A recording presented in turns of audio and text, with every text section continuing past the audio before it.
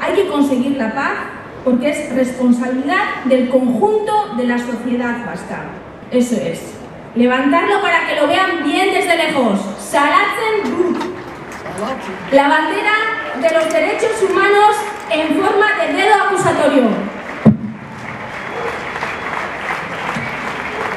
Salatzen dut, salatzen duzu, salatzen dugu guztiok.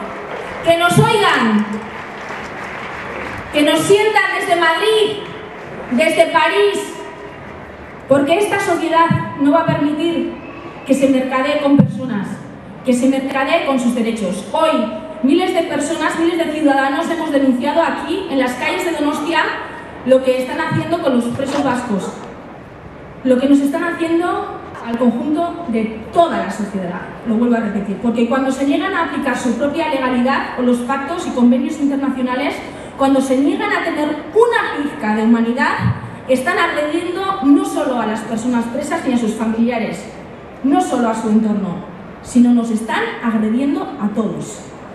No vamos a permitir que se juegue con la vida de 10 presos vascos con enfermedades graves e incurables. Es hora de decir, de unir nuestras voluntades en este suelo común, tanto de la sociedad como de los partidos e instituciones, de compartir una hoja de ruta de reconquista de nuestros derechos, de los derechos de nuestros presos y de nuestras presas, porque queremos que estén en casa, pero queremos que estén vivos.